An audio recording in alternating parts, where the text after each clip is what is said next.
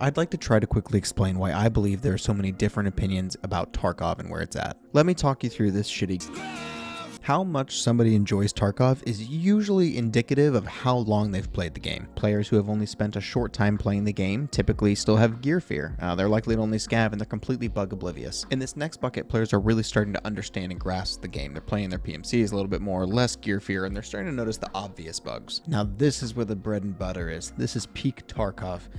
They know that there's bugs, but they trust BSG will fix them. They've got no gear fear. They're running what they want, and they're excited about future updates. This is where the game gets kind of meh. You don't really believe the updates are that great. You're kind of losing faith that BSG is going to fix the game issues. This is where you see a lot of the strange playstyles like I only use a Mosin or Scav gear or hardcore Tarkov. And this is the end where BSG's never going to fix the bugs. The game's boring. There's nothing to do. You see a lot of vocal whiners here. Uh, the point of this is that state of the game is different for everybody.